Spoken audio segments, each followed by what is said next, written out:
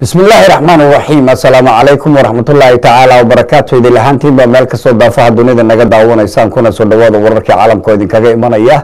Tv-ga caalamiga ee kalsan xarunta dhexe magaalada london. Wararkana wax soo jeedinaya anigoo cabdilaahi xuseen mariya wararka aan idin haynana waxa ugu dooron dadka soomaalida meesha lagu qaadaya kii etoobiyaanka ay qabtaan banaanka soo saaraan oo sariir baasiyaan oo telefonkiisu ku hadlaya. Waxba loogu yeela laakiin aniga oo qolka ku jirna soomaalida yaa qolkii dhaxays biyo inoogu shubaan oo kaada nagu soo rafaad bay nagu sameynayaan abid cunsurinimadii ugu xumayd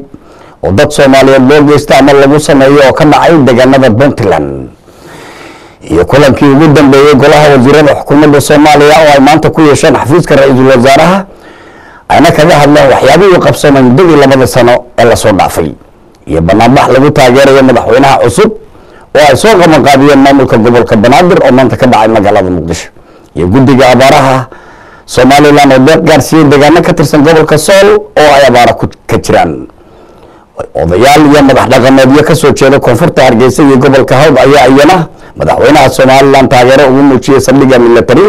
ee dowladda imaaraadka carabta laga siiyey magaalada berbera wararka caalamkana waxaa ugu daran donald trump oo isagu doonaya inuu mar labaad soo saaro fadwa amaba waxa loo yaqaan xayiraad cusub oo uu ku soo rogayo toddobadii dal ee uu hore uga mamnuucay inay wadanka soo geli karaan ama ka bixi karaan. Taasoo sababtay baa la yidhi in maxkamadaha wadanka maraykanku ay ka xukumaan ama ka hor yimaadaan go'aankii madaxweynuhu soo saaray. Intaas waa warkii oo kooban